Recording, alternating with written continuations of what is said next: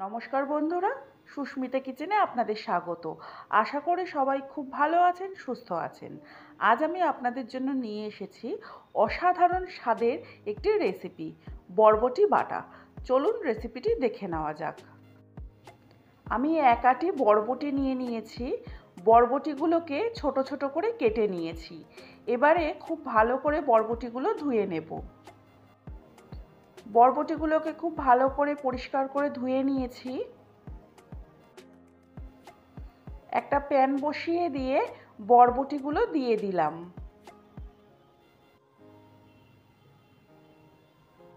দিয়ে দিলাম আন্দাজ মতো নুন। দিয়ে দিচ্ছি খুব সামান্য পরিমাণে জল। দেখতেই পাচ্ছেন একদম সামান্য পরিমাণে জল দিয়েছি। এবারে একটা ঢাকা দিয়ে দিলাম।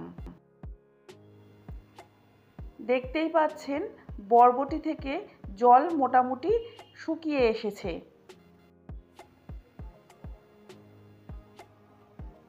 বরবটির জল একদম শুকিয়ে গেছে, এবারে গ্যাস অফ করে দিলাম, দিয়ে বরবটিটা একটু ঠান্ডা হতে দেব। আমি বরবটি বাটার জন্য শিলনোড়া নিয়েছি দিয়ে দিলাম একটা লঙ্কা, তিন কোয়া রসুন,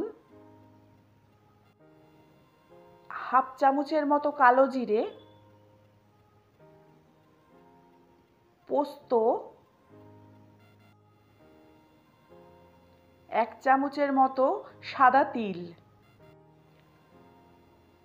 দিয়ে দিচ্ছি সামান্য পরিমাণে নুন, কারণ বরবটি সেদ্ধর সময় আমি নুন দিয়েছিলাম। এবারে অল্প করে বরবটি নেব আর খুব সামান্য এক ফোঁটা জল দিলাম কারণ এই মশলাগুলো বাটার জন্যে। এবার অল্প অল্প করে বরবটি নেব আর পুরো বরবটিটা মশলাগুলোর সাথে বেটে নেব।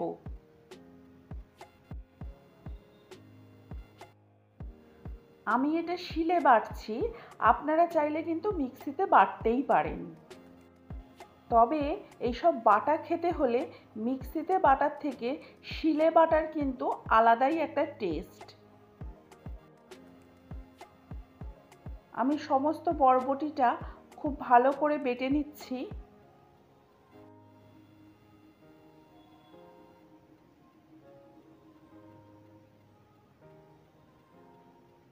একবার বাটা হয়ে গেছে, আমি আরও একবার মিহি করে বেটে নিচ্ছি।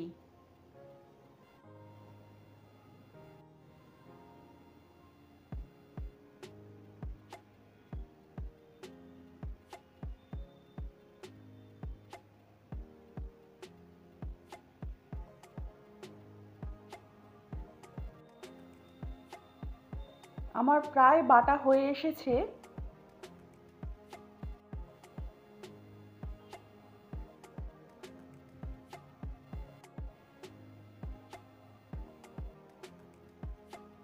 বাটা হয়ে গেল বরবটিটা।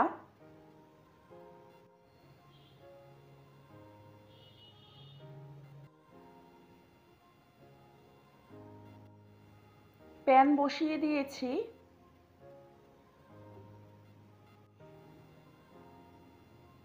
প্যান গরম হয়ে গেছে, এবারে সর্ষের তেল দিয়ে দিলাম। যে কোনো বাটা বা ভর্তার জন্যে সর্ষের তেলই কিন্তু মাস্ট আমি এখানে দুটো শুকনো লঙ্কা ভেজে নিচ্ছি গার্নিশিংয়ের জন্যে। শুকনো লঙ্কাগুলো ভাজা হয়ে গেছে, আমি তুলে নিচ্ছি।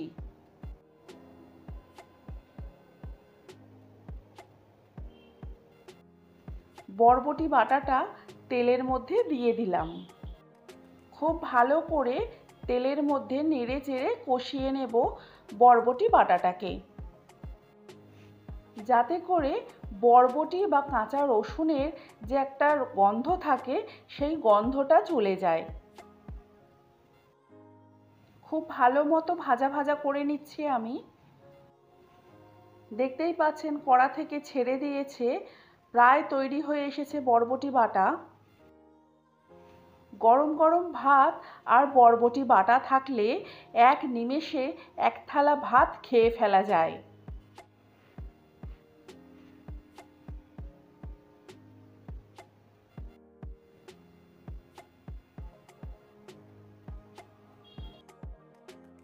গ্যাস অফ করে দিলাম, একটু নাড়াচাড়া করে আমি এটা ঠান্ডা হতে দেব। ঠান্ডা হয়ে গেলে পরিবেশন করার পালা। তৈরি হয়ে গেল অসাধারণ স্বাদের বরবটি বাটা। যদি এই রেসিপি ভালো লাগে, তাহলে লাইক করুন কমেন্টে জানান কেমন লাগল। ভালো লাগলে সাবস্ক্রাইব করে পাশে থাকা বেল বাটনটি অন করে দেবেন, বন্ধুদের সাথে শেয়ার করে দেবেন। আজকের ভিডিও এই পর্যন্ত। ভালো থাকুন, সুস্থ থাকুন।